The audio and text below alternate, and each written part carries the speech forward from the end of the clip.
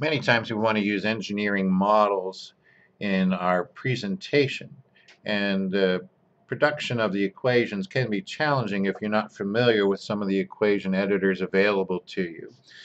And one that I want to show you is using Microsoft Equation 3.0 that's available to you in any of the Office products. To get to that in PowerPoint, you would click on the Insert button and then click on Object and uh, wait a moment and then we will get a menu that we can choose the editor and I'm going to scroll down till I find Microsoft equation 3.0 and click OK. So with this we can utilize the menus that will allow us to develop professionally looking equations.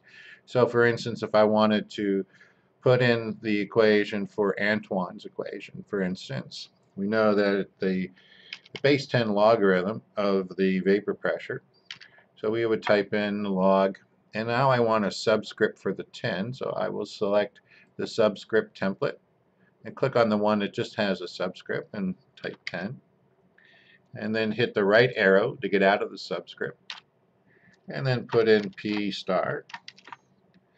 And that will equal the coefficient A minus now, if you recall, the we have a fraction that we have to use, so we can select a fraction template and put in b over t plus c.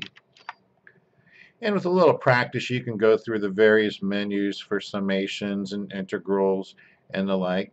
And when you're done, you just click Update and then click Exit to return to presentation. And here's your equation.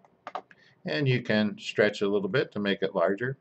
And your equation is now written. And this makes it very easy to see how the equations developed and make the reader a little more informed as to your intentions.